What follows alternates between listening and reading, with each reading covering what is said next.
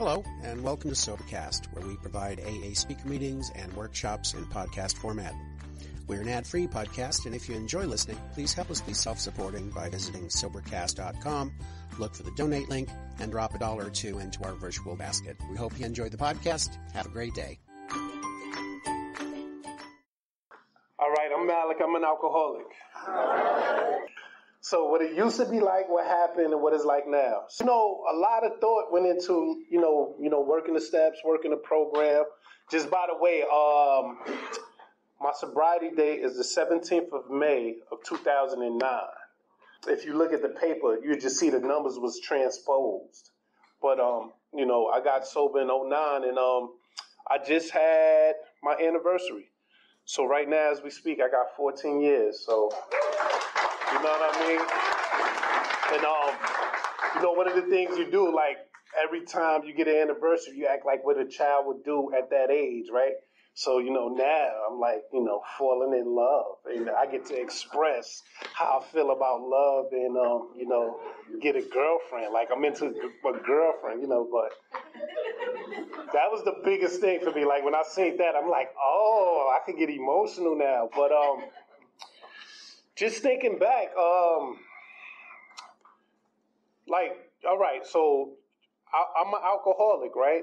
And tell you the truth, that when doing the work with a sponsor, the furthest, like the first time I could ever remember drinking alcohol, and see, this is how I know, like my my problem. You know, we say is senses in the head, but my problem senses in the head because my first drink. I'm gonna just explain this to y'all, right? So I have an older cousin. She's about six to eight years older than me, right? So one night she has all her girlfriends over and they're sleeping over, right? So, you know, for me, the little boy, I'm like, whoa, like, you know what I'm saying? They all in the house. I'm sneaking around, spying on them, you know what I'm saying? Just trying to, just trying to be there, you know what I'm saying? One of them I love, like my whole, like of my childhood, I was in love with, you know, I'm not going because, you know, we being recorded. But one of them in that house, you know what I'm saying? Like, for my whole childhood, I love this girl, right? And so, of course, you know, they teenagers and um, you know, they they started drinking, then they gave me some, right? You know, just to give me some. And um I don't know if I was just, you know, so happy and gully because they was there, or it was the alcohol. But it was like after that, you know, that that that was the feeling that I always remembered, and um, I will always try to get to again because um, you know, I tell people like we had, you know, I was just doing crazy stuff like, flip. you know, I'm just trying to get attention. So I'm doing flips, I'm flipping off everything, you know, I'm trying to make them laugh, you know, and I'm just being a fool. And um, and I remember that. I can remember that to this day, like jumping over garbage cans and everything, like you know, lining up stuff to run and jump over it, and then they just, you know, hey yeah, like and then they, ooh, I get hyper, right? Woo. And that was like, you know, the first time I drink. And then, like, after that, like, drinks would come like once a year, like New Year's. That was like the only time, you know what I'm saying? Even, you know, I'm a child, but, you know, they'll let you get a little taste on New Year's. And then I would act the same fool. Like, I equated acting a fool with drinking. Like, if I get to drink a little bit, it's to be cool for me to act a fool, right? Like, that, that's how. That's how I believe I turned into Mal Liquor, you know, later on. But I say, you know, I, I had equated drinking with just wilding out, acting crazy. So, of course, you know, like anybody else, grew, grew up in a good, you know, a good household. You know, um, I, mean, for real, when you think about it, as long as I've been sober, and you know, you start to make a gratitude list. You know, when I was younger, I had a lot to complain about, but now these days, you know, what I'm saying I'm, I'm grateful for you know the way I grew up because I know a lot of people that had harder stories, and um, I just grew up and um, you know just regular. But as I got older, you know, I would always get in trouble though. I, I you know I can say that though. I, I would always get in trouble or get a beating. You know what I'm saying?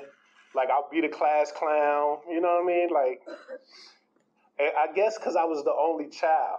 You know what I mean? So like when I'm not around my mother, you know, I'm, I'm somebody else. not around my grandmother, I'm somebody else. So um, yeah, in school, I you know I always was getting notes sent home and getting a beat, and then you know I you know just got immune to beatings. I was just talking to my mother the other day. I was like, "You remember the last time you beat me?" Like, you know, I was like, like, like she couldn't do it no more. Like she just ran out of strength. I'm just standing there like this. She just beat me, and I'm just standing there like, you know, wait until it's over. You know, they're like, just wait until it's over. And then that was the last time she beat me, and then she actually said it because she was like, "It doesn't do anything no more." So, you know, I remember that. But um, my journey with alcohol, like for me, for real, it um, I want to say it really started with weed because, you know, we would drink. We would drink like back then. We was drinking forties and, but you know what I'm saying. Like my mom was on weed, so it's a real um, situation on how I got into the weed spot. Um, so I don't know in New York where I grew up at, so it's like a, a, weed spot. So you know, like the dread is in the weed spot. You go and put your money in a hole. They get your money through. You know, you know. So the dread in the weed spot had asked a friend of mine because you know we'll send him to go get the weed, like to come in and paint for him, right? And he was like, get one of your buddies to come paint with you. And then, you know, we went in there. We were supposed to be painting inside because, you know, he had the whole thing. We were supposed to be painting inside the weed house, right? But then the dread, lo and behold, had a crush on my aunt. Had a crush on my aunt. And then when he found out who my aunt was, you know what I'm saying? It was like, I, I was like the golden kid because he was like, yo, blah, blah, blah. Like he would try to get me to hook him up with my aunt. And now my aunt, like, she can't know I'm in here. So, you know, I'm like, I'm like, no, like, you know, but, you know, fast forward, worst come to worst, you know, I'm, I'm working there first. It started off as painting. It started off as painting. And, um, you know, one day I'm, I'm working the door. Um, I don't know. He, cause he, you know, I, you know, as he just probably thought I was smart or something. And then the guy, see, this is the thing that I talk about because the guy that got me in there, you know what I'm saying? So the, the dread used to do cocaine. And this is when we're real young. Of course, crack is an epidemic, so we got crackheads in the family. We see what crack doing. The crack head family members taking your stuff and selling it, you know. So we know not no rocks. Like, you know, we children like no rock, like we hate that, right? But um see, he didn't grow up like that. So he had a different house and he lived on the same block as me, but you know, when the when the dread offered us some cocaine, he took it. And um, I, I really want to say, you know, I'm not here to tell his story, but he ain't never been the same since. He ain't that, and that's like all of us, right? You know, we don't be the same since. So the dread tried to get me to do that too, but I didn't. But lo and behold, I'm working in the weed spot. I'm going to high school. As a matter of fact, I remember because um, the dread used to give us, you know, like when he paid us, he used to give us weed too. And I used to just save my weed just to go to school and, you know, show off at school. Like, you know what I'm saying? So I was going to a new school and um, we was in high school. And I remember one time, you know, hanging out with the older kids and they like, they trying to do this and trying to do that. Then I go in my book bag and pull it out. They like, yo, what the thing? You know, everybody going crazy. And I'm like, this is, you know what I'm saying? This is what I do. And, you know, they kind of knew because, you know, back then it was all about Nautica and Jordans and, you know what I'm saying, stuff like that. But um, so all through high school, that's what it was really about. And then, you know, with the girlfriend. And, um, I, you know, there's always a girl involved, right? There's always a girl involved. So for me, you know what I'm saying? I was smoking it with like, you know, weed was my thing. Weed was my thing. And um, I had this one girlfriend she lived around the corner, and um, you know, we she'd come hang out or whatever. And then when it was time for me to walk her home, I would always stop at the liquor store and get a Montebello Long Island iced tea. And I did not remember this until after I had spoke with her years later, and she reminded me of that because that's where I really started drinking. Like I started drinking like that by myself because she wouldn't smoke or drink. As much as I tried to get her to smoke and drink, she wouldn't do none of it. You know what I'm saying? So, so that's how I started. And then, of course, you know, I guess I'm just hanging out. You know, everybody know I got weed, so you know you got a hundred friends. Everybody your friend now, so you know just hanging out in the park. You know, and um, so now I'm drinking with everybody. Like the same guys we used to play basketball with. Like you know, all of us just. You know, we when we were younger, we was doing constructive things, but you know, once we got you know, in high school, let's just say in high school, once we got into high school, everybody, you know, that was just something else. So we all doing something else. And um, that's when the drinking was fun. Just, you know, hanging out, drinking, you know, um, just fast forward on that. Um, one day, one day I had another girlfriend, right? And um, but you know, I had just really met Shorty, and I was we went to the movies, right? And I didn't go to work that day. And um, one of the guys that I hang out with went to go rob the weed spot because they thinking I'm in there, right? Let me tell you how God worked. God doing for me before I could do for myself back then. So um, I didn't go to work that day, you know, and um, they shot the dread in the leg. They, you know, put the pistol through the hole and shot him in the leg. And um, so whatever happened, I know who did it and all that. You know, all that came out later, but whatever happened when I came to work the next day, the dread thought I had something to do with it. You know what I'm saying? And then I'm like, and you know, later in retrospect, I'm like, why would I come back to work the next day if I had something to do with it, right? But like I told you, he be he be geeked up. He be he be skied. You know what I'm saying? So like I had came into work and I remember, man, as soon as I came in, he put the gun in my head. He was upset, blah blah blah blah blah, screaming.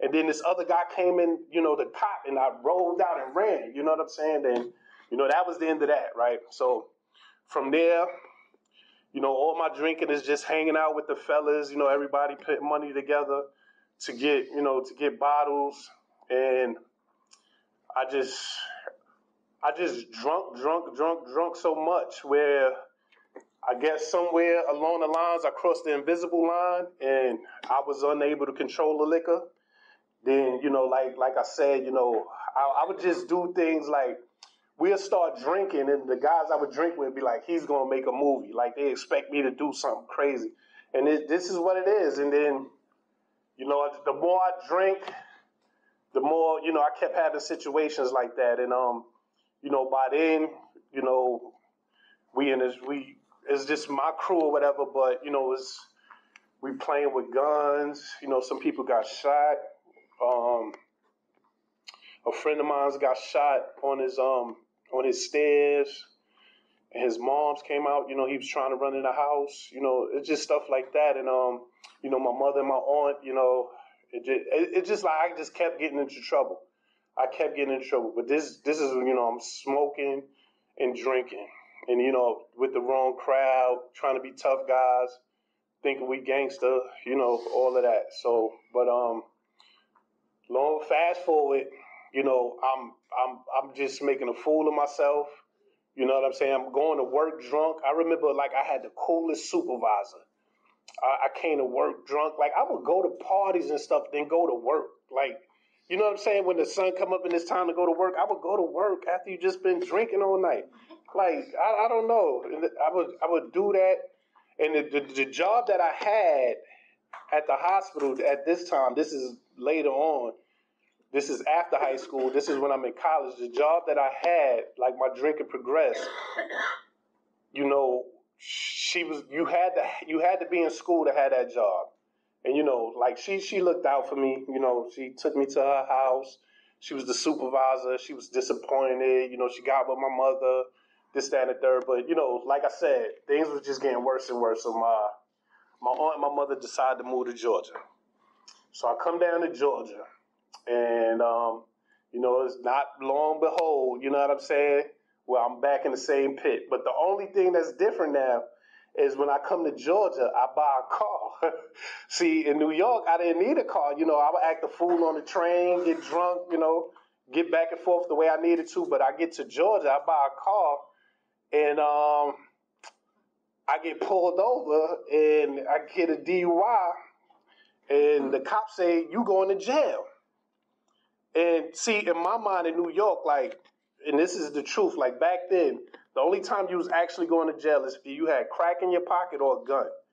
You know what I'm saying? Like anything else, they they might just rough you up, take your weed, throw it away.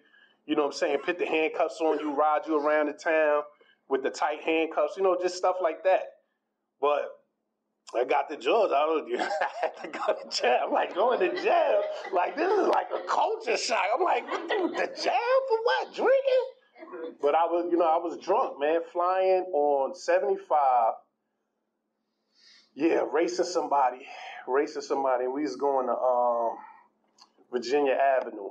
Yeah, to drink some more. Was leaving one spot and we was racing. Yeah, but so I went to jail, right? Okay. Then boom. So that was, I want to say August. I got that ticket or whatever, you know. Then you start doing the rigmarole, the DUI, whatever you have to do, right? And so in November of that same year, I got another DUI.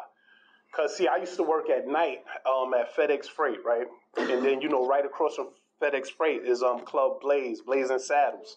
So I used to be in the strip club, getting to it, and then go to work because I used to work the night shift.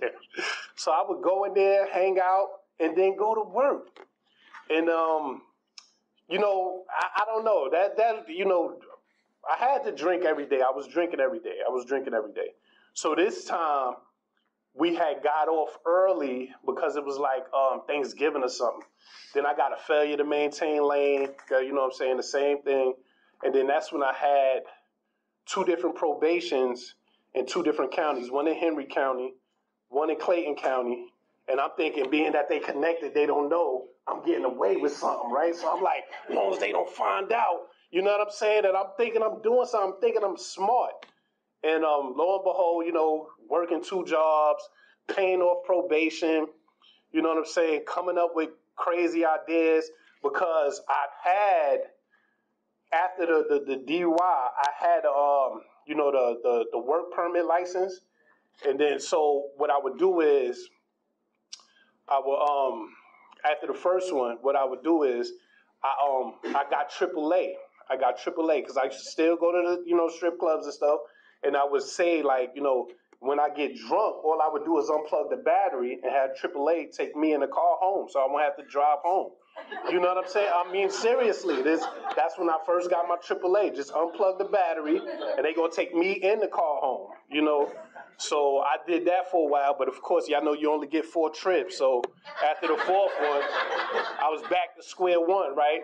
All right. So fast forward, then I got the second DUI. Um, then they they took my license.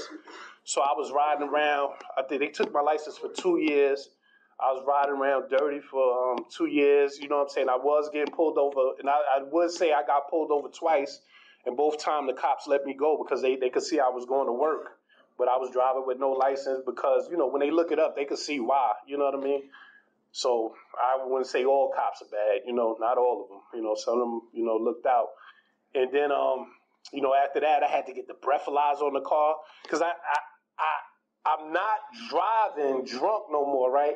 but I'm still getting like disorderly conduct, public drunk, you know what I'm saying, trespassing. I'm getting those kind of charges, but I'm not driving. And in my mind, I'm like, I'm not driving, right? I'm like, I'm not driving, but I'm still getting arrested and for being overly drunk. You know what I'm saying? So, all right. So fast forward. Um, then I'm, you know, I'm thinking I'm getting away with it. Then I'm like, ah. I, am good. I got my license back. Like I said, I had the breathalyzer on the car. I think we had that on for a year or something. You know, you had to pay them to put it on, pay them to monitor it, pay them to take it off. You know what I'm saying? So all of that. But, you know, I'm thinking I'm controlling my drinking with the driving, controlling my drinking with the driving, right? Until DUI number three come. So when the third one come, you know what I'm saying? And that, look, I skipped over a part. So when I tell you about those public drunks and the trespassing, the judge had me doing weekends. Like I had to turn myself in every weekend. Like, you know what I'm saying? Like for for like go they let you go to work so you could pay probation. But when the weekend comes, you gotta go to jail and, you know, dress out and you be in jail on weekends. So I, I did that. I had I had I, I did that for the longest. For the longest. I mean my mom's used to have to drop me off. So I did that for the longest. So the, the miracle happened, the third DUI. and um, you know, talking to the dudes in jail. You know, you know, you don't go to court yet. You know, you got the ticket and stuff, but you don't go to court. They be like, "Ooh, you got three. You you about to you about you got to do a mandatory year." You know what I'm saying? So you got three. You go. You're habitual.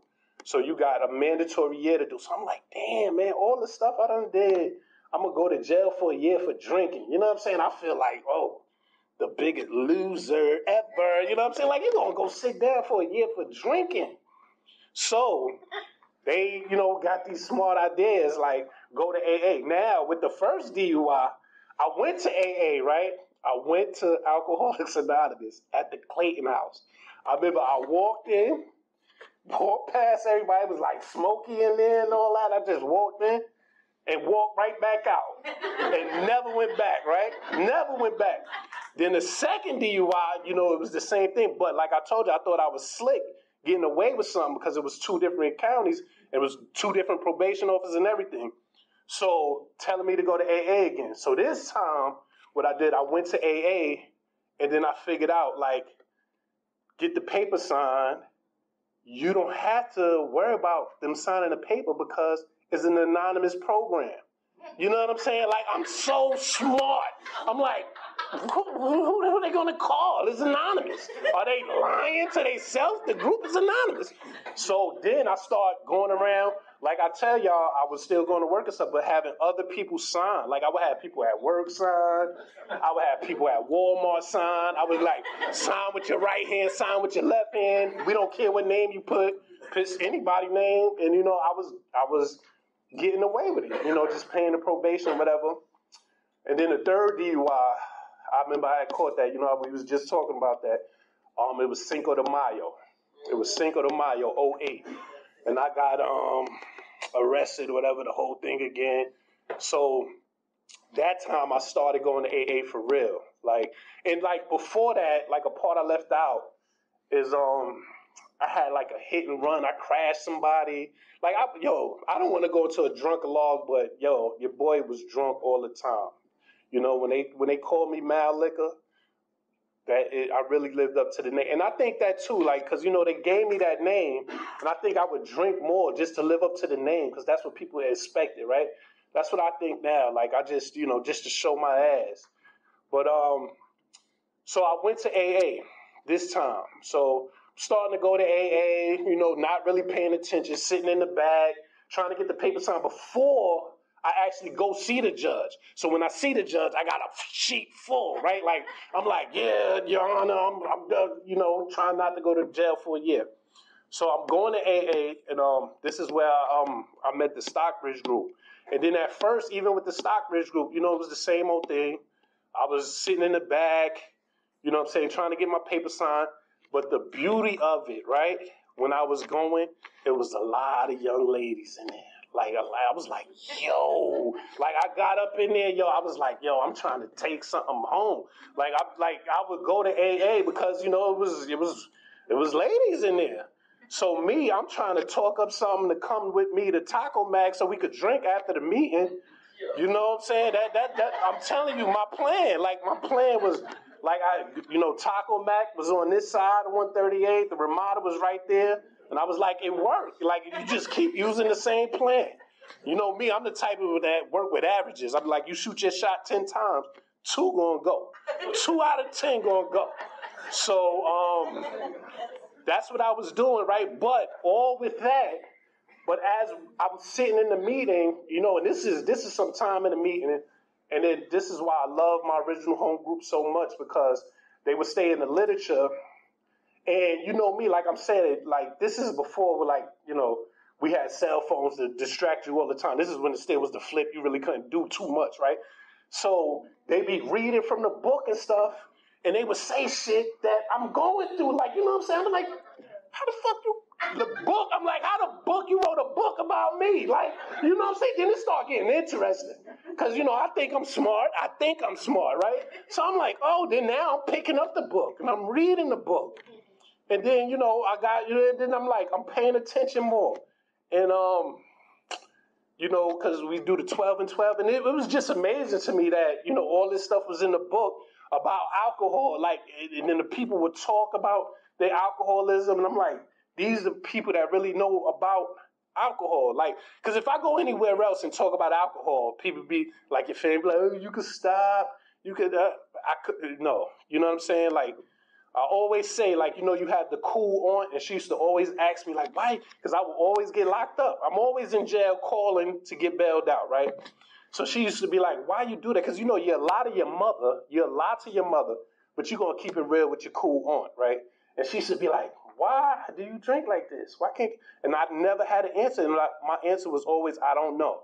I don't know. I don't know. I don't know. But when I came to AA, you know, in time, I understood why. You know, like the allergy. You know, this what it really meant to be an alcoholic.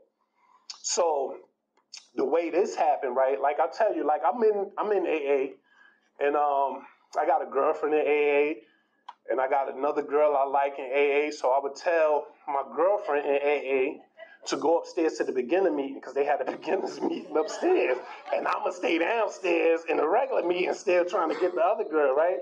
Crazy, crazy, crazy. So, but the greatest thing happened. So, all right, around this time, two of the greatest things happened. So, is a lady at my home group she had asked me out the blue to help her set up. You know what I'm saying? They didn't know me from a G because, you know, she was like, she can't carry the boxes. So I guess she seen me, was like, oh, you big for nothing. Like, come grab these boxes. You know what I'm saying? You just big. Grab these boxes. We're going to set the meeting up. And then when she asked me, it's like, you know, one of them situations where you can't say no. And I'm like, and I was coming to get the paper signed anyway. So I was like, all right. So, you know, I would come, she'll open the doors, and I would carry the stuff out, and we'll set up the meeting blase blah. Then not too long after that, I'm in the parking lot after the meeting, right? Like I told you, I'm trying to get to Taco Mac. I'm trying to holler at Shorty. We talking. And then, not he wasn't my sponsor then, but this is my first sponsor. This dude come up to like after me, was like, "Yo, we're gonna have a group conscience. You you want to come and da da da." And he's talking to me like AA terms, right? But in my mind, I'm like, this cock blocking motherfucker don't get a, you know, like you know what I'm saying? That's how I'm on it. Like, yo, this dude really trying to stop, like, and I'm thinking I'm getting somewhere. But lo and behold, you know, after some time, that's the dude I had asked to be my sponsor. Because, um, you know, at the time, he was the GSR. See, look, all this stuff I never knew nothing about. And then afterwards, I become the GSR. You know what I'm saying? Like, but at the time, I didn't know anything about that. And so when I asked him to be my sponsor, you know, he he was a great sponsor. He was the sponsor I needed. Because you know how you'd be like, if somebody in my family would have tried to get me to stop drinking, I'm not going to listen to them because I'm thinking they they full of BS. You know what I'm saying? So it was it had to be somebody that didn't have that wasn't getting nothing out of it. Like it had to work that way. The way AA works for all of us, it had to be that way. It had to be you doing it for me without thinking you're going to get anything back, right? Because you know I always say like you know at the time I was a young black dude from New York, and he was an old white guy from the South. And you know what I'm saying? So like we had nothing in common but drinking. And um, you know, he took me. He took me. He was cool. You know what I'm saying? He was older than me. You know, he was married. And um, you know, he was just doing the deal. And then, you know, later I realized, you know, we all do this one day at a time. But, you know, it was real big to me that he was taking out time just to work with me and didn't even know me, right? So, you know, I'm doing AA now. You know, um, the first time I was introduced to the steps was another program was um, Celebrate Recovery, right? So when I really started paying attention to AA, I was like, these are the same things from Celebrate Recovery. I'm thinking, you know, AA took it from them, not knowing that they took it from AA, right? I'm like, yeah, y'all biting, you know, but it, that it was the other way around. And um, but lo and behold, um, I started getting sober, and I always say this because it's the truth. So um, I used to always pick up white chips. You know what I'm saying? Because I called it being honest. You know we we focus on honesty. Like long as I'm being honest, like I would leave and go drink, and I come back to the next meet and get a white chip. And um, long as I'm being honest, I kept getting white chips, right? So one time, I heard um, a member's story that's in the big book. He spoke at my home group at the lady that I tell you that asked me to help her at her um, birthday. And the stuff he was talking about, I could remember being on the news when I was little. You see what I'm saying? Like I could remember that stuff being on the news, paying attention, because you know you're a little kid, you want to be a pilot, and it was real big. I mean, it was big. And when he started talking that, it was like it was like it was like a quantum leap. You're like, oh, that's the dude. You know what I'm saying? Like that's the dude from the news. And then that time, I picked up another white chip. I was like, I'm doing it this time. You know, just off the strength of his story, because I was like, he's happy now. You know what I'm saying? And um, lo and behold, I picked up that white chip, and then uh, my birthday came around, right? So I didn't know what to do for my birthday but drink. So guess what I did? I got, you know what I'm saying, I got drunk because all I knew what to do was drink. But so that's when my, my birthday had fell on a Sunday that year.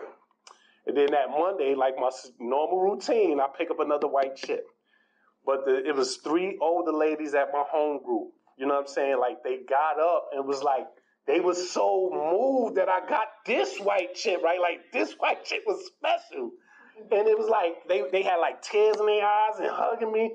And they were so happy that I picked up another white because I guess they seen I had more time. Like it was my time of picking up white chips had grew. I had like like a month or something in between instead of just you know what I'm saying? So and then I realized to myself that day, I was like, these people care more about me than I care about myself.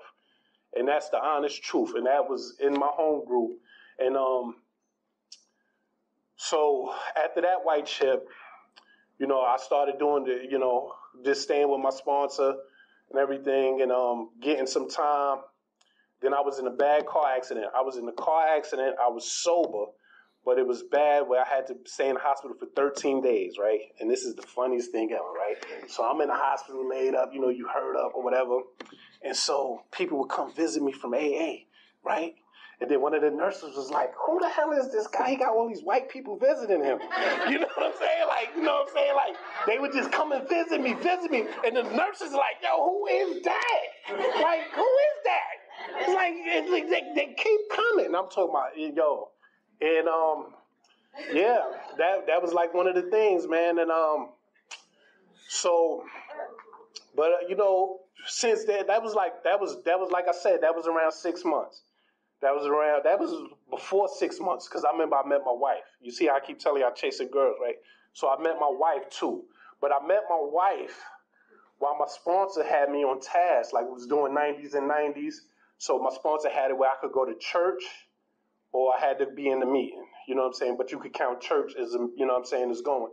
And um, you know, I would go to Wednesday Bible study because they was giving food, plates of food. So you know, I'm going to get the plate. I'm going to Bible study. And then you know, lo and behold, I met my wife. She'll tell you a different story, but she was checking for the kid. You know what I'm saying? She might tell you something else though. But um, so I met her, and um, you know, and um, I guess, you know, my life was changing, right? My life was changing because I wasn't drinking. So everything was brand new. And my relationship with her was brand new. And um, I was just trying something new. And um, so we've been married now. This will be our 11th year. This will be our 11th year marriage in September because I just got 14 year. But um, that was another good thing. And um, you know, I and I, I have to say I've always been in service. Like I said, my my sponsor was the GSR, and um, for some reason he left the group. I don't know what happened. You know, you know, AA got politics in it too, right? You find out AA got politics, so something happened, and you know, he stopped coming to the meeting. And then my grand sponsor, his sponsor, would be like, yo, have you seen him? And I'd be like, nah. You know, I would see my grand sponsor more than my sponsor, and I was spending more time with my grand sponsor than I was with my sponsor, but it all worked out. You see what I'm saying? Because I was already plugged in. And then, um, lo and behold, I had to switch sponsors. Then my, my second sponsor passed away. Then I had got a third sponsor. My third sponsor would encourage me to do things that a married man should do. He wouldn't encourage me, but he'll make it look like it's, it's all right to do, right? So, you know what I'm saying? You know, he was he was good on the AA tip, but you know, you know what I'm saying? Like, you know, some things you like you can't you can't live two lives. You can't you can't live a double life. So Then I, you know, got me another sponsor. And then I just say great sponsorship got me here because through all of it, I've learned that in the beginning, I just got the wrong information. You know what I'm saying? Like you grow up as a little kid watching your older cousins, you want to be a player. You want to have all the girls and then, you know what I'm saying, get the money. You know what I'm saying? It's uh, like and then to like today, we all realize that none of that means nothing without, you know, a connection to God. And and I always say this, like in AA, before AA, I knew God, right? Because I grew up in a Baptist household. I went to Catholic school. My stepfather was a Muslim.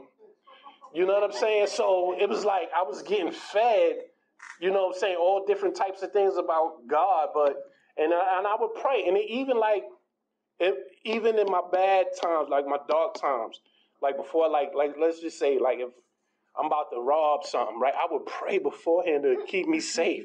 Like how you pray, you know? I mean, this is the truth. Like you would pray to keep you safe, but you out here trying to hit somebody in the head and take something off of them. You know what I'm saying? Just, but that's that's just my story, and it's the truth. And um, you know, I just came into AA, and um, and I say I say this too because when I first like really got it and I was really trying to get sober, it was a lot of people in AA with me.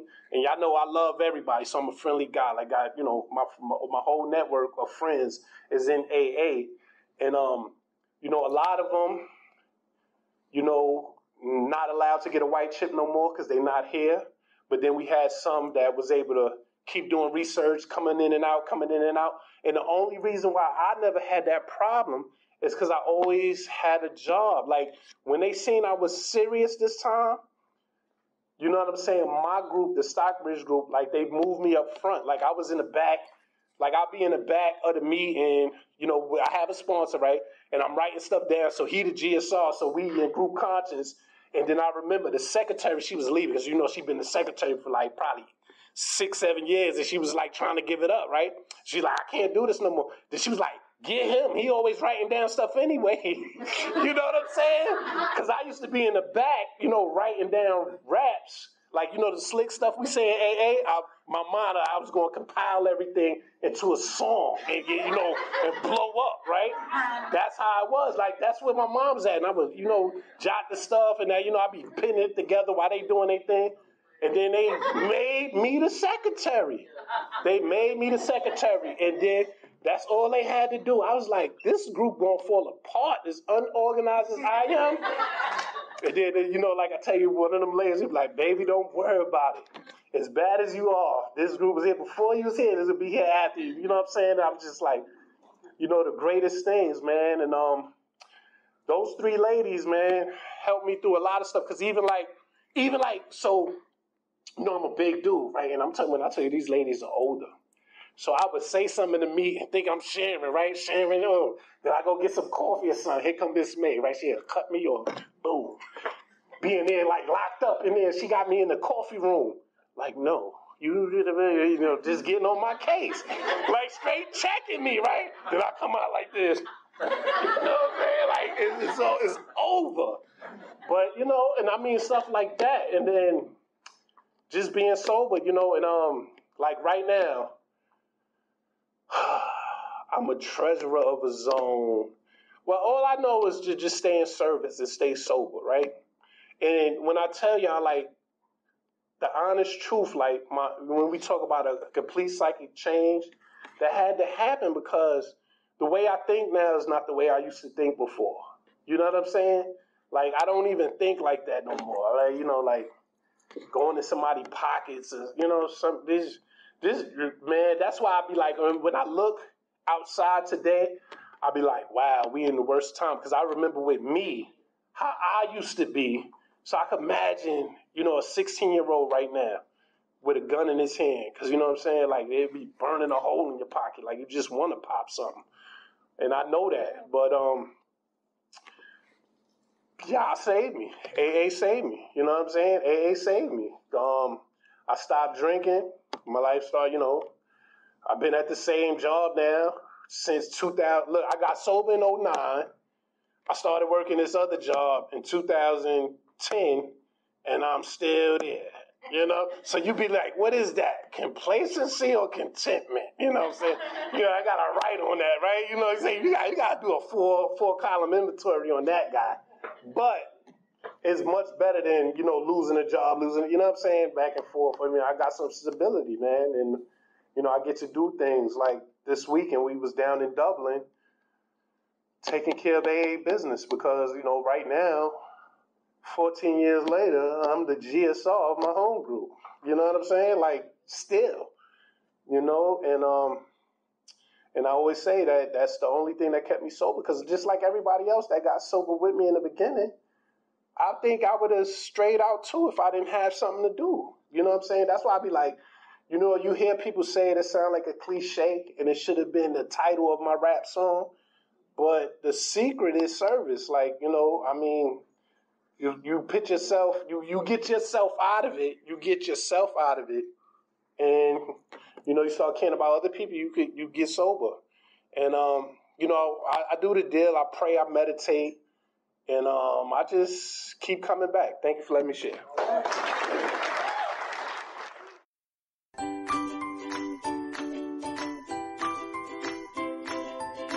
Thanks for listening. I hope you enjoyed the podcast. Sobercast is ad free, and we'd like your help in order to keep it that way. So if you'd like to help us be self supporting by pledging a dollar to a month, visit Sobercast.com and look for the donate links. Thank you very much.